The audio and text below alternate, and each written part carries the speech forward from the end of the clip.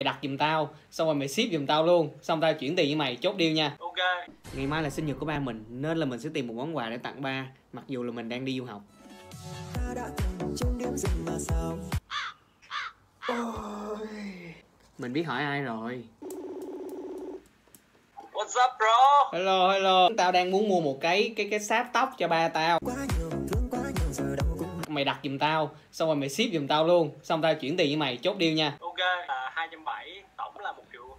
nha what the về bao đi ăn về bao ăn về bao ăn một bữa ok Trung Sơn có chuẩn bị à, quà và nhờ con à, mua tặng chú dạ. À, chú sinh nhật vui vẻ. cảm ơn con nhiều nha Dạ.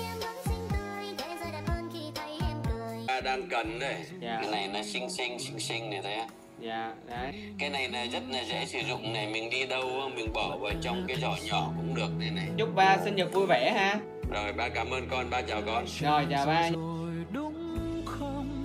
Mỗi sớm trôi qua thật nhanh. Trả dần rồi đúng không? Con xin